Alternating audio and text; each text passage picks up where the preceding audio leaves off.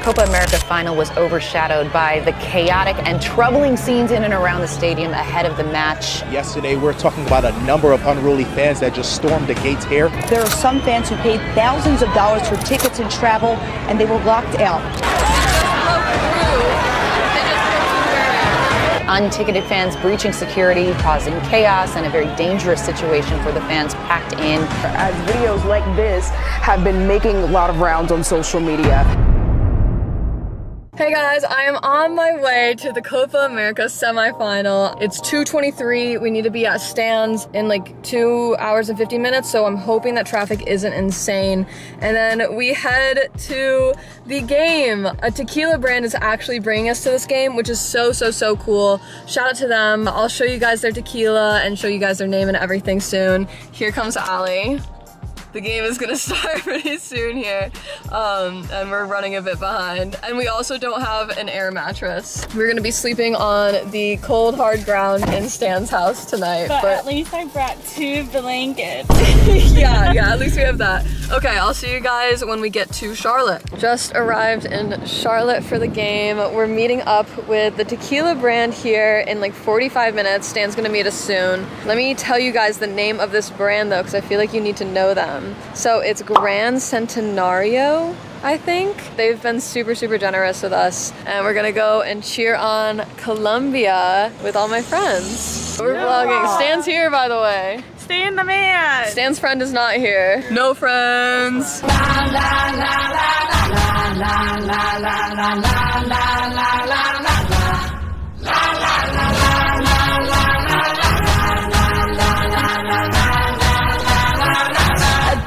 you.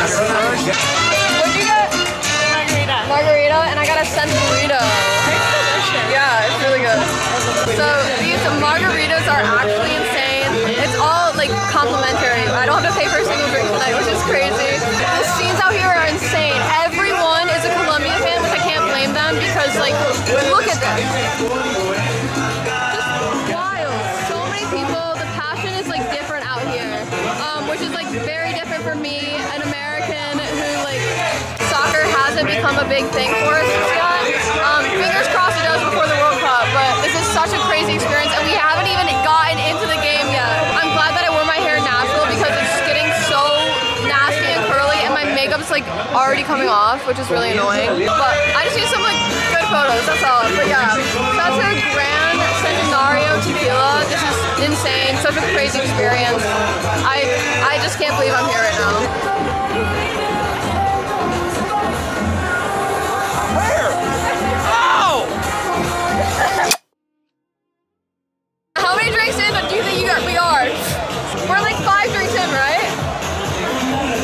drinking is bad.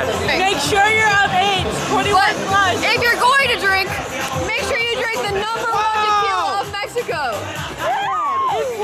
About an hour and a half until the game starts. Colombia is the number one team out here. Look at this. This is insane. They've been shooting off fireworks, insane music, so much dancing. Ali private section for like ever. Stan's out here trying to cope.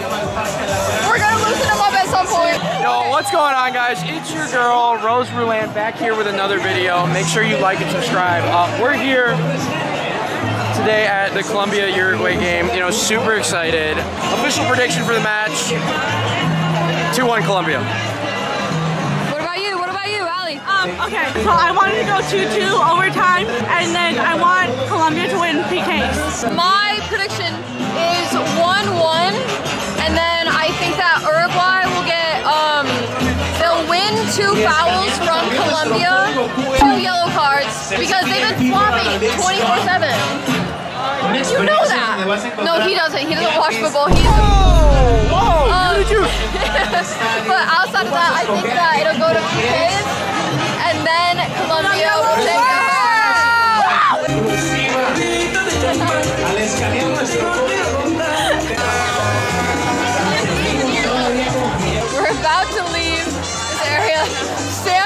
made it back. We need to go to the bathroom so, So bad. My favorite influencer.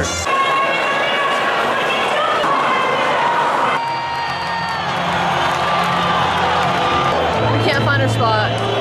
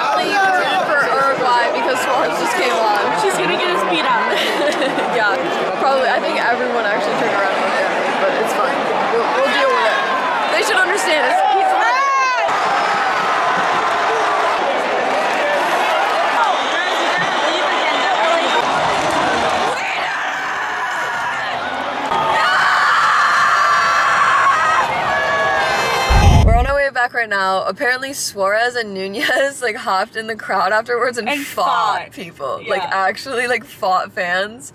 Um, and we missed yeah, it. we missed it. We missed it. We left too early. Colombia 1-0, moving on to the finals, going against Messi. I will be there. Sadly, I will, Ali not, will be. not be. But I'm very, very excited for it. Like Steve Largent, Steve Warren Largent, Mooney. oh, yeah, man, yeah, those are good days. But that, that guy, that guy, he's a Hall of Famer, right? We are on the way to the stadium and we have to walk because traffic is so bad. We love walking. So it's gonna be interesting. It's so hot out. I am literally rooting for Colombia, but I'm wearing an Argentina kit, so I don't know. I'll be happy no matter who wins, right? I don't know. Let's go.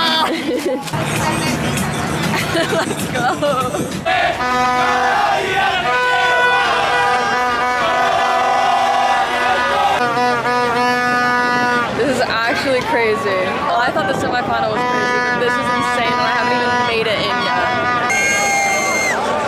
this point, we've been sitting in this crowd for two and a half hours under no shade, nowhere to move to because the crowd was so dense, and absolutely no water. You think that like the people who put together this event would at least hand out water to people, free water, so that people wouldn't pass out, but that wasn't the case. My friend Nix almost passed out and ended up getting sun poisoning.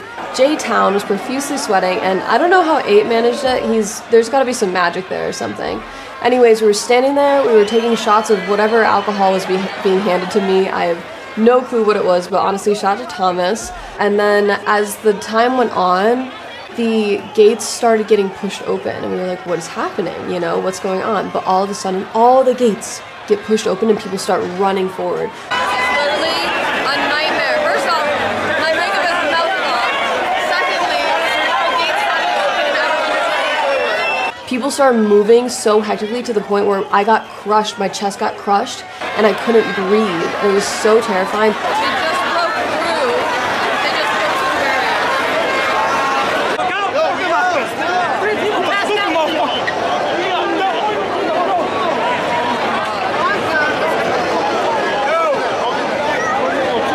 But we got through the crowd and we were in.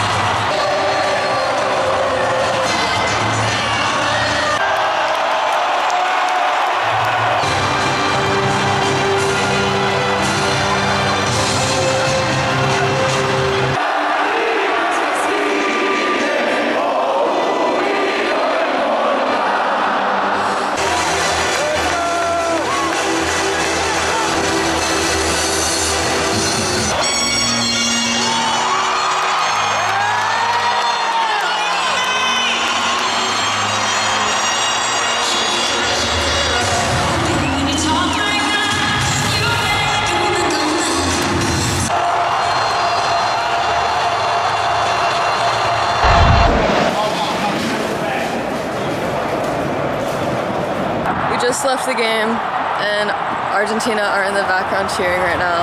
Messi got hurt, which is a bit upsetting, uh, but we still had a decent time. Honestly, we expected to play or to watch 90 minutes of football, and we watched two hours. so at least there's that. I'll update you guys on like all the specifics though later, because there was a lot of like crazy stuff happening. Um, but I need to get out of this like foot traffic first and get an Uber. Hello, it is the next morning and I feel like I didn't film enough for you guys. So we're gonna do a house tour and I'll show you the guys because I didn't film them very much either. My flight leaves at noon, or I board at noon. So once I get packed up here, um, it is 9.30, so I need to leave here in like 30 minutes. I got my own private area because I'm a girl. And my bedroom. Hello there. Here is the living room with the giant TV. Here are the boys.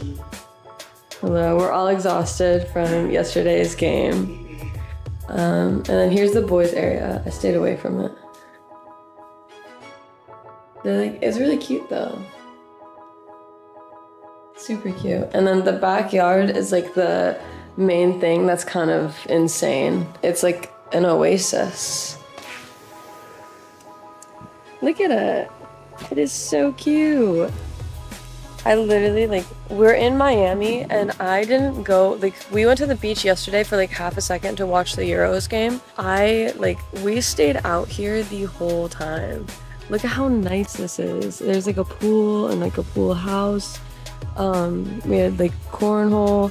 I also lost my like golden bracelet that I've worn for the last year that I got in Edinburgh, so that was like a little sad. Also, I'm really sorry. I have like smudges on my screen from last night. Um, but yeah, this is amazing, and you know, I, we wouldn't be here. Here, I'm actually gonna clean this off. We wouldn't be here without Nix. Nix like got us all together and gave us this opportunity. And even though last night was kind of like all over the place, um, it's still like a super fun memory and honestly it made things a bit more interesting. We got to see like what true passion looks like which is hard to see in the us when it comes to soccer because it's like not the most popular sport. People were talking or like i like tweeted like the us isn't ready for the world cup which we are and i get it. Like the world cup is like ran by fifa this is ran by conmebol but no matter what like you can't compare like people were saying like oh well these are nfl stadiums and these this never happens with nfl games. But the thing is the World Cup isn't NFL teams either, you know? And it's going to be a ton of passionate football fans for international teams. Like, that's like a whole country's fans, right? That want to see these games and, like, whether or not they have the tickets, they want to show up and support their team. And there's not even turnstiles. Like, you can just walk, like, push through if you really wanted to. Um, so they need to fix something. They do because nothing happened to me last night that was too drastic. But there was like little kids. There was little kids, and that was like super scary for them because, you know, like the the parents thought that this would be like a decent game to like bring their kids to, and like obviously there's always going to be something going on because like foot, football gets like a bit um like passionate, right? But like there was like kids like in the mess of people being crushed. And like I was like trying to hold people back and then I would get pushed together towards people. And it was like actually like kind of scary at first um, and I heard that like a lot of people who bought tickets weren't able to get in because they just like opened the gates at a certain point because so many people were just like pushing through. And I think it could have been avoided if there was just turnstiles like any other like football place. Like don't get me wrong. I watched Attack on Wembley. I saw what can happen with turnstiles but I feel like people can't get into the stadium as easily if they have to scan into a turnstile and whatnot. Like maybe they can like, what's the word? Like it's like jib or something like that, like with someone. But like so that's at least two people at a time rather than like a whole entire crowd. So I don't know. We'll see uh, in the future what happens and if they make any changes. I'm sure they will. Um, yeah, shout out to Nix, shout out to J Town, shout out to Eight for hanging out with me. It was super, super fun. It honestly went too quick and I'm exhausted. So I'm excited to get back, get back into working out. I wanted to film some soccer stuff out here, but again, so exhausted, so busy. I'll probably regret it later, but whatever. Okay, bye guys.